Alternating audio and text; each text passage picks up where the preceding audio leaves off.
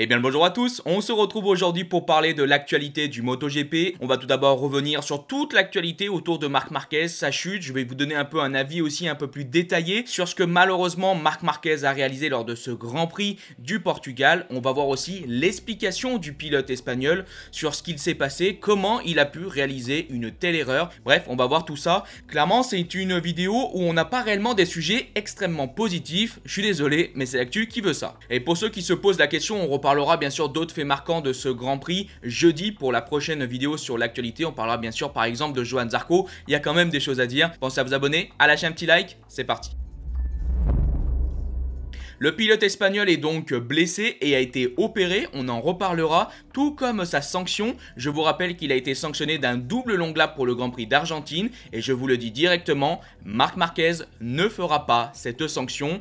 On va donc en reparler. Pour l'instant, on se concentre sur ses déclarations, sur l'explication de sa grosse erreur. Bon, je vous préviens, il y a du texte, hein. c'est quand même de gros pavés et c'est assez logique, c'est une sacrée histoire, une bien triste histoire, j'ai quand même envie de dire.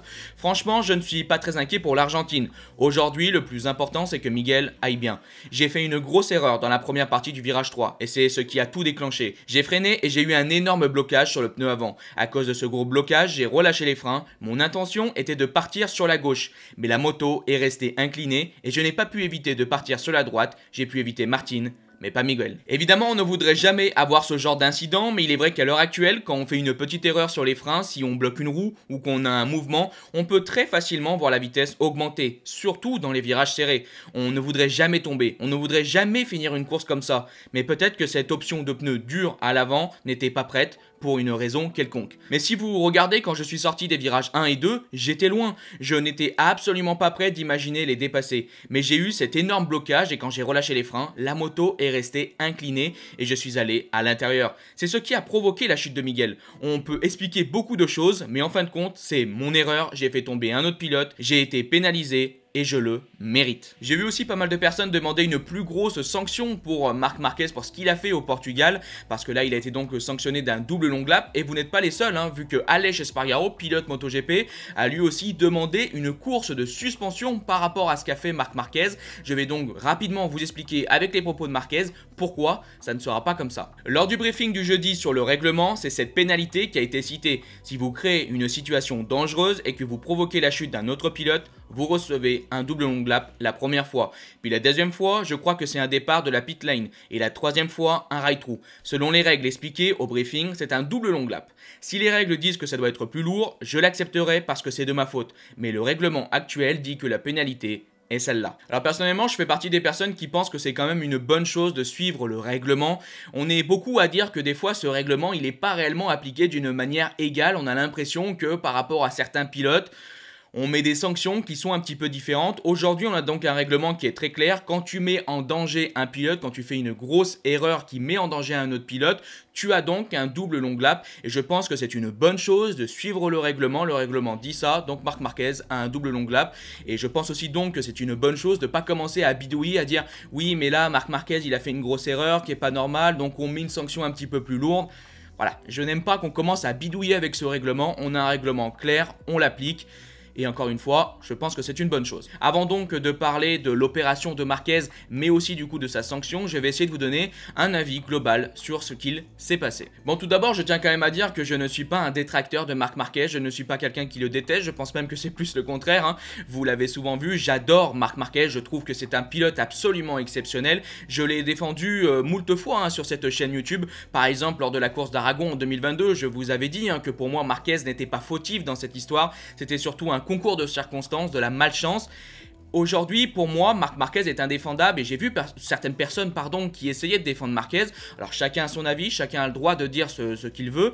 Mais pour moi, sur cette situation, aujourd'hui, Marc Marquez n'est absolument pas défendable. Je rajoute aussi un petit mot, chacun a le droit d'avoir un avis, j'ai mon avis, vous avez sûrement votre avis, que vous soyez d'accord avec moi ou non, il n'y a aucun problème. Chacun peut discuter, chacun peut donner son avis, tout ce que je vous demande s'il vous plaît c'est du respect envers l'avis des autres, du respect pour moi bien sûr, pour mon avis, mais aussi pour les autres. Euh, la vidéo de dimanche, j'ai essayé de faire un petit message aussi et c'est parti en cacahuète. Donc, vous avez le droit de dire ce que vous voulez, mais s'il vous plaît, faites-le juste dans le respect, qu'on puisse discuter et qu'on ne renvoie pas une image où les communautés sont obligées de se détruire, où on est obligé de se sentir supérieur par rapport à la vie d'un autre. Non, s'il vous plaît, faites ça dans le calme, dans le respect. Chacun partage juste sa passion et son avis sur une situation du MotoGP. C'est clairement ça qui doit primer. Tout d'abord, pour moi, le véritable problème de cette situation, ce n'est pas l'erreur en elle-même de Marc Marquez. Parce que pas mal de personnes ont dit Marquez, euh, il s'est raté, ça arrive à tous les pilotes, il y a déjà des pilotes qui ont emporté d'autres pilotes, et c'est tout à fait vrai. On regarde par exemple Joan Mir qui s'est raté, qui a malheureusement ruiné la course de Fabio Quartararo. On a Luca Marini samedi qui s'est complètement raté, qui a complètement explosé et ruiné la course de Bastianini. Bastianini qui malheureusement lui est bien officiellement blessé. Donc ça arrive, c'est arrivé en 2023, c'est aussi arrivé en 2022, 2021, ça fait des décennies que malheureusement il y a des erreurs et d'autres pilotes emportent d'autres pilotes.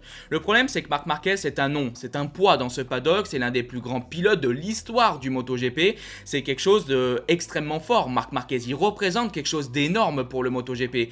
Et quand un pilote a sa stature, pour moi, il ne devrait pas faire ce genre d'erreur tout d'abord, mais surtout, il ne devrait pas faire ce genre d'erreur d'une manière répétée. Alors certaines personnes disent que Marc Marquez n'a pas de respect pour les autres. Moi, je pense que si. Je pense réellement que Marc Marquez est une très bonne personne et qu'il a du respect pour les autres.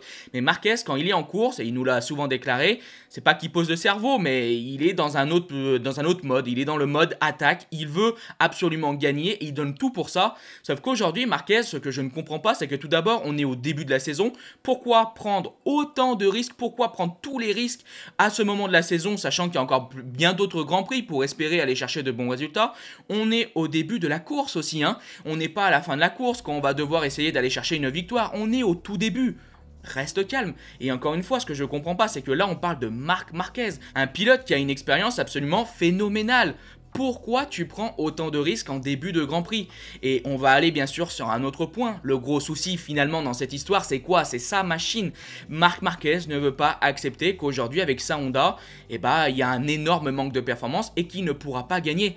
Alors peut-être qu'il arrivera à un moment gagner en prenant 150 000% de risques et que finalement un jour ça finira pas marcher, qu'il mettra tout bout à bout. Mais aujourd'hui, la Honda ne lui permet pas de pouvoir se battre à la régulière avec les autres pilotes. Du coup, Marquez, qu'est-ce qu'il fait en grand champion? Bah, il veut compenser, il veut se donner à 2000%. Et ça, on aime aussi nous qu'un grand pilote il se donne à 1000% pour essayer de se battre pour la victoire malgré une moto inférieure. Sauf que le problème, c'est que faire ça, c'est prendre des risques, des risques, des risques et des risques. Et quand ça marche, tant mieux, mais quand ça foire, eh ben il arrive ce qu'il est arrivé. Aujourd'hui, Marc Marquez, il a 30 ans, et je pensais vraiment qu'après tout ce qu'il a vécu, ces années de galère depuis 2020, il y avait peut-être eu un changement finalement de mentalité. On savait que Marquez resterait Marquez et qu'il attaquerait toujours parce que c'est l'essence même du pilote. Mais dans la stratégie de course, dans la stratégie de comment aborder la saison dans son ensemble, je pensais que Marquez aurait évolué et qu'il se serait dit aujourd'hui je ne peux plus faire comme avant, je ne peux plus attaquer à 200% dans tous les grands prix, ma moto ne me permet pas aussi de faire ce genre de choses. J'ai vécu une situation extrêmement difficile, j'ai eu de multiples blessures, j'ai 30 ans, je suis plus proche de la fin de ma carrière que le début J'imaginais un Marquez peut-être un petit peu plus réfléchi dans sa façon de faire. Là, on a détruit deux courses, on a failli fortement blesser un pilote. Oliveira, ça aurait pu être bien plus grave hein, cet accident. Marquez est de nouveau blessé. Marc Marquez, encore une fois, qui se sort déjà de nombreuses blessures. C'est super compliqué. Il y a toujours cette épée de Damoclès au-dessus de sa tête, la diplopie. Marquez prend toujours autant de risques, il se blesse une nouvelle fois, il va se faire une nouvelle fois opérer, il s'est même fait une nouvelle fois opérer. Toute cette situation m'amène à dire, Marc Marquez doit absolument changer. Ça ne peut plus durer comme ça. Le pilote des années 2014, euh, 2015 et même techniquement un petit peu avant, c'est plus possible aujourd'hui. Ce n'est plus possible. Marquez doit s'améliorer.